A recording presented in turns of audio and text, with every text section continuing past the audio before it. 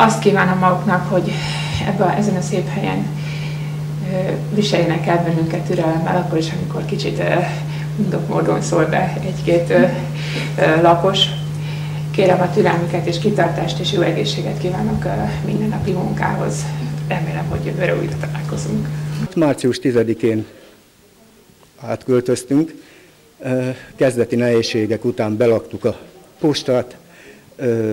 Minden feltétel jelenleg adva van a korszerű munkához. Ügyfeleinket igyekszünk a lehető legjobban kiszolgálni.